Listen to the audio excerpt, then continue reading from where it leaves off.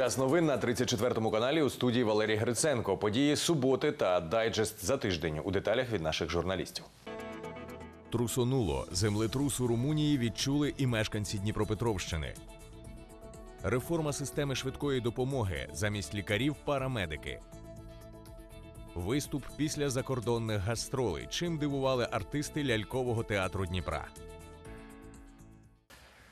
Хитало меблі, дзвенів посуд, тріщали стіни. Україну цієї ночі сколихнув землетрус. Вночі поштовхи відчувалися у Києві, Дніпрі, Одесі та в інших містах, де був епіцентр і чи серйозні наслідки, розкажуть наші журналісти.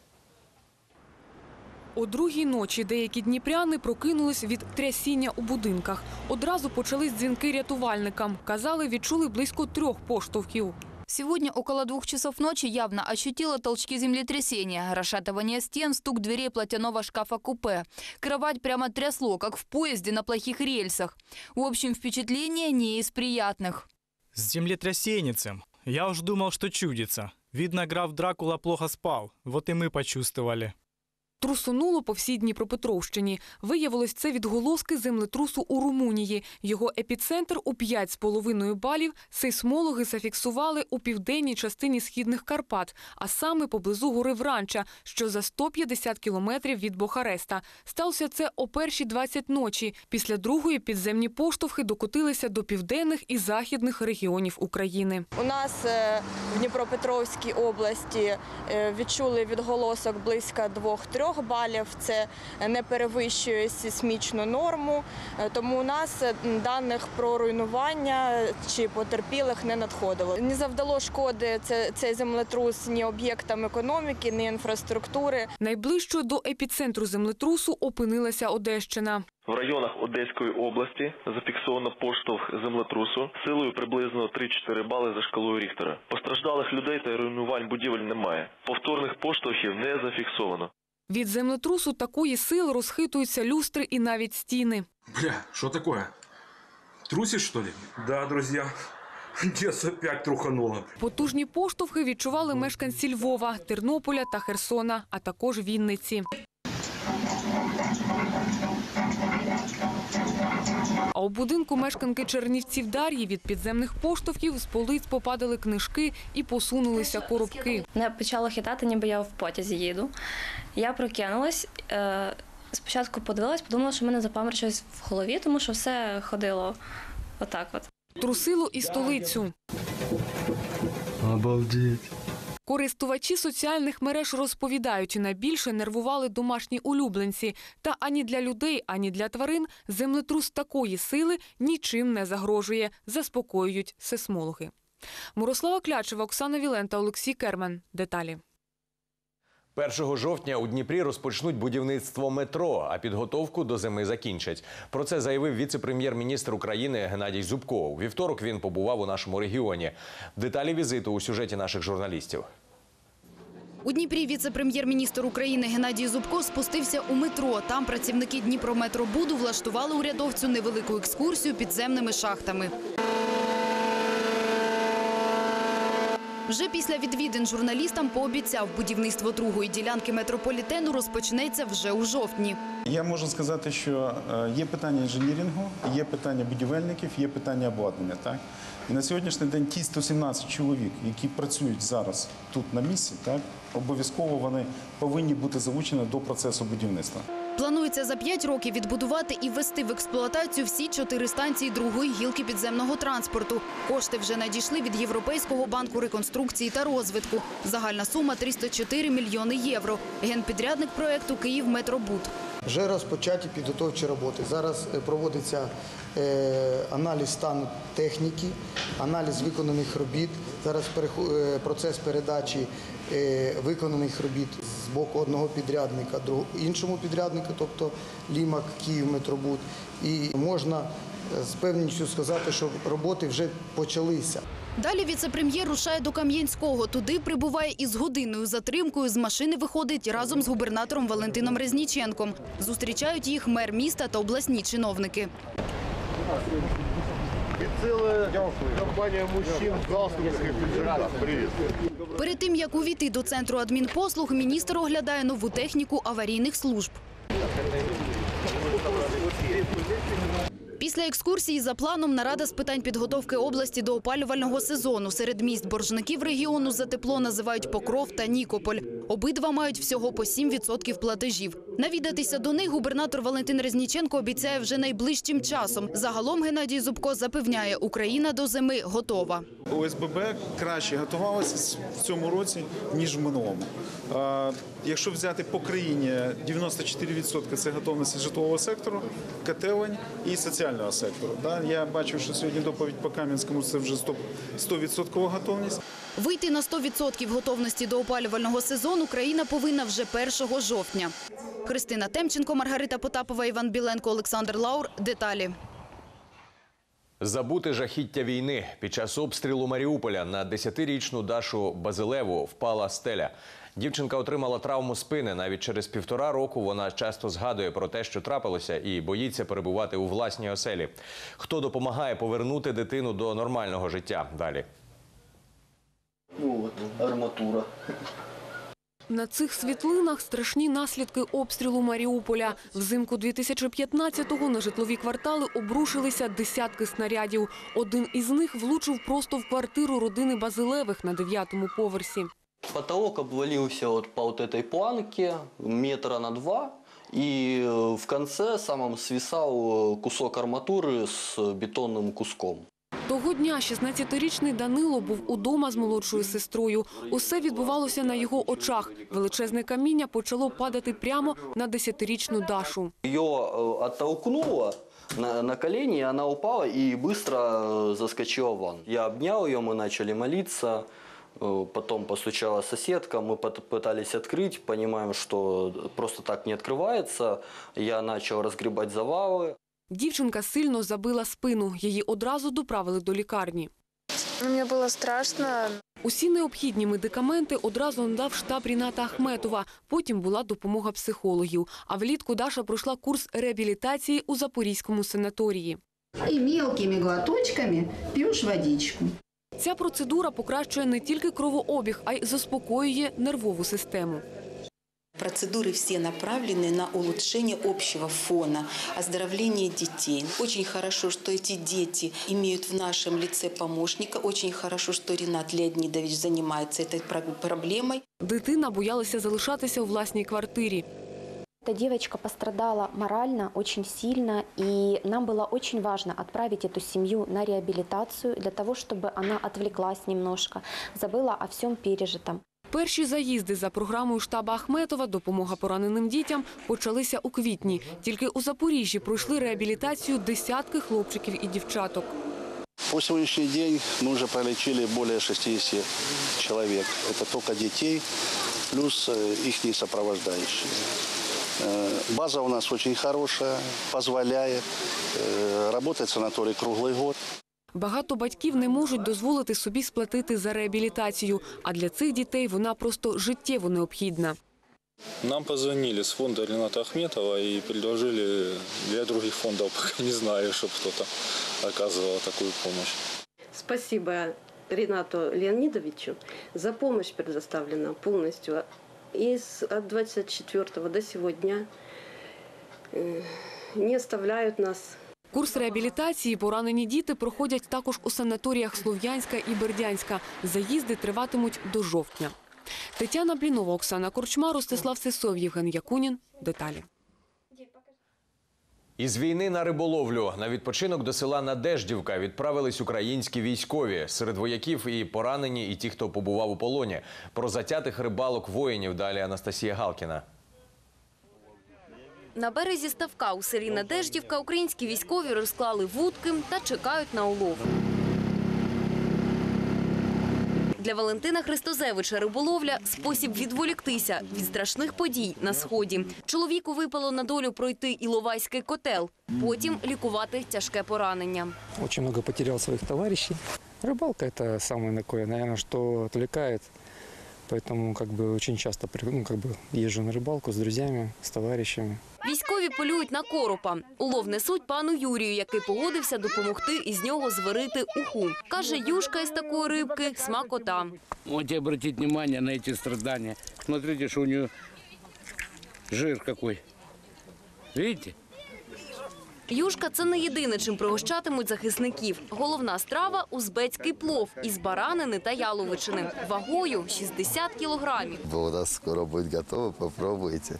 Традиційно кожна ловля закінчується пікніком у душевній компанії. Військових організатори відпочинку запросили до столу та почастували на славу.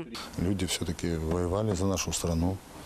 И как-то им надо отдыхать, приходить в себя и видеть нашу страну во все очи. За день воїни рибалки наловили близько трьох десятків кілограмів риби. Красноперка местная. Анастасія Галкіна, Гаррі Вагнер. Деталі. Пусть живе. Депозит від міста. Мер Дніпра зняв гроші із банківського депозиту та роздав багатодітним сім'ям. Це проценти, отримані від розміщення міських фінансів на депозитах у банках. По тисячі гривень разово отримали 7 тисяч родин. Це дитячі будинки сімейного типу та ті, хто потребує соціальної допомоги. Деякі з них вже знайшли, як витратити кошти. Мы решили эту вот помощь, учитывая сейчас осень, Потратить на овощи, на заготовку к зиме. Купили много яблок, картошки, лука. Пусть дети покушают свежих овощей. По инициативе Бориса Альбертовича Филатова э, после того, как излишки денег были положены на депозит и вернулись уже в э, деньги в город, это, ну скажем, деньги, вот как он говорит, с неба упали. Замість лікарів парамедики реформувати систему швидкої допомоги пропонує виконувачка обов'язків міністра охорони здоров'я Уляна Супрун. Відповідний законопроект вже розробляють. Наскільки ефективною буде така система лікування в Україні та чого варто очікувати від неї? Дивіться у темі дня від Христини Темченко.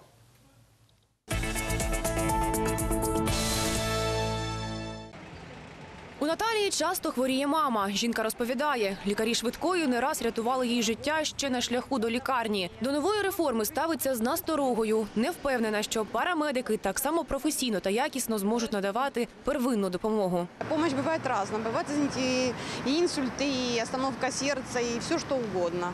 И, а если маленький ребенок? Парамедик, медик середньої медичної освіти, який працює у службі швидкої медичної допомоги і володіє навичками надання екстреної допомоги на етапі догоспіталізації.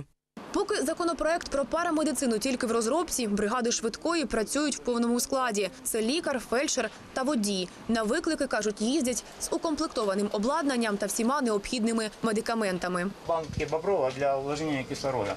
Вот. Линия МАТ, инфузомат э, для подачи определенной, с определенной скоростью лекарственных средств. Э, Здесь вакуумный, вакуумный матрас, шины, воротники шанса.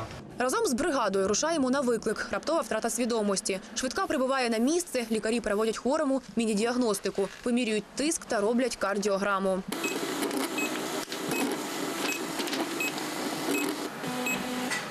Медики констатують, втрата свідомості викликана різкою зміною положення тіла. Первинну допомогу надають на місці. Госпіталізації чоловік не потребує.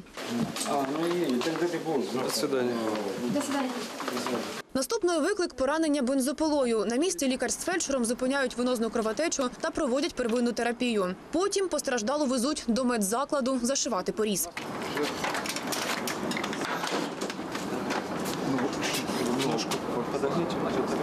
Лікарі запевняють, часто до моменту госпіталізації хворому терміново необхідно встановити діагноз та надати допомогу. Що стосовно парамедиків, у них дещо інші обов'язки, розповідає заступник директора медицини катастроф Сергій Ляшенко.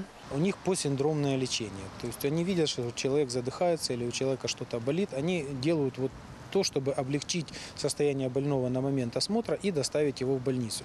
Работа все-таки врача – это и установка диагноза, и определение, ну, с- учитывая свой более проф- высокий профессионализм, оп- определение тактики лечения Пропонує змінити склад бригад швидкої допомоги, виконуюча обов'язки міністра охорони здоров'я Ульяна Супрун. Замість лікаря і фельдшера буде парамедик та водій, який пройде спеціальні курси. В екіпажах швидких медичних повинні з'явитися екстрені медичні медичні техніки, які будуть водночас водіями та надаватимуть мінімально необхідну медичну допомогу на місці. У швидкій також працюватимуть парамедики, які відповідатимуть за те, щоб доглядати за людиною по дорозі до лікарні. Після надання первинної медичної допомоги парамедик з екстреним медичних технікум везуть пацієнта до лікарні. Стовідсоткова госпіталізація головний принцип майбутньої реформи. Та до цього каже лікар першої невідкладної допомоги Віталій Архіпов. Приймальні відділення не готові. Приемное отделение терапевтического стационара захлебнется при этом. Даже если вы половину из них привезете туда, то это будет уже м,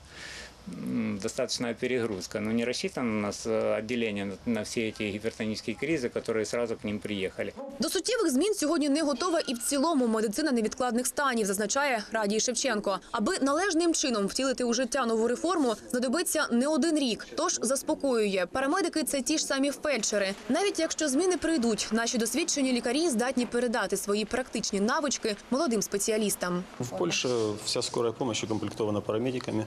Парамедик проходит такое же обучение, как наш фельдшер скорой помощи. Только наш фельдшер учится 4 года, а парамедик учится 3 года. Думки ж самих пацієнтів щодо нової реформи розділились. Я понимаю, когда приезжает кардиологическая бригада, которая э, сразу начинает реанимацию делать, которая сразу эти самые... Ну, а представьте, ну, не довезут же, ж. образно говоря, просто не довезут, если что-то серьезное. Не, ну если цивилизованный мир так живет, я думаю, что и нам придется. Поэтому ничего страшного нет. Західну практику парамедицини в Україні активно почали застосовувати з початком бойових дій. Волонтери-парамедики вже врятували сотню життів на гарячому сході. Христина Темченко, Іван Біленко. Деталі. Стадіон Трудові резерви у Дніпрі мають реконструювати до кінця року. Наразі ремонтні роботи у розпалі, але обсяг дуже великий. Основна частина футбольне поле. Його обіцяють зробити на високому рівні. Окрім цього, ремонтують зони метання спису, ядра, восьми бігових доріжок, а також роблять освітлення, зливівки та підпірні стіни навколо стадіону. В цьому році цей об'єкт, те, що заплановано, буде зроблено саме поле, легкоатлетичні бігові дорожки, вхідна група, е, благоустрій навколо. Підпірна стінка, благоустрій оцій всій території, це все буде зроблено.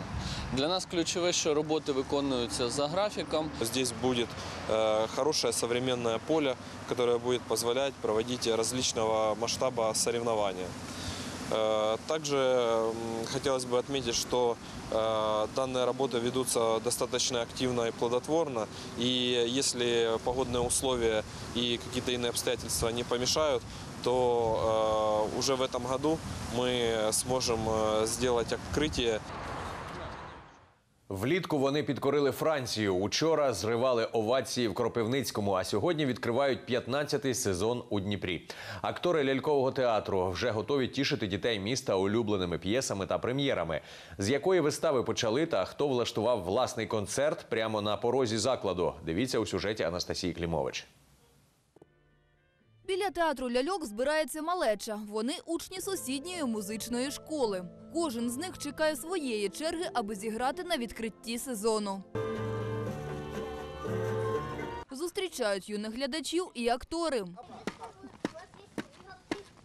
Тим часом їх колеги-артисти готуються до старту нового сезону. Він починається зі спектаклю Айда Буратіно. У Юлії головна роль. Открытие сезона, это новые, новое творчество у нас, новые спектакли какие-то.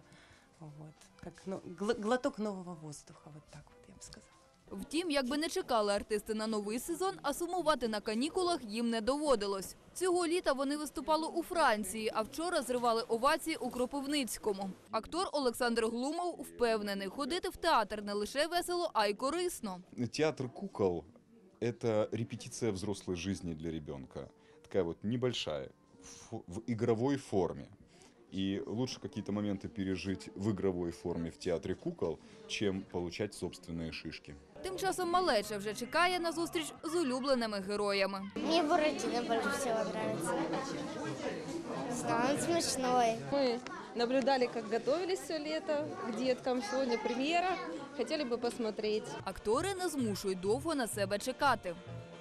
Театр – наше призвание, награда и наказание.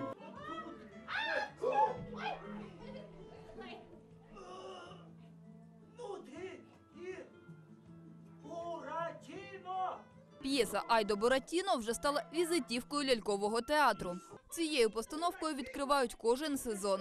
Вона талісман та запорука вдалого року, впевнений його режисер. А вже наступного тижня на глядачів чекає прем'єра. Алло, гараж – м, история маленького э, винтика из автомобиля. Вот нет винтика, и автомобиль не едет. И все запасные части спорят, кто из них главный. А оказывается, важны все. И даже маленький винтик. Головний режисер обіцяє, буде цікаво як хлопцям, так і дівчаткам. Окрім автомобільних деталей, в п'єсі багато колоритних персонажів. Анастасія Клімович, Богдан Пападін. Деталі. На цьому випуск завершено. Інформаційний підсумок тижня підіб'ють у неділю. Мої колеги. Дивіться деталі підсумки завтра о 18.30. Я ж з вами прощаюся. Приємного вам вечора суботи і на все добре.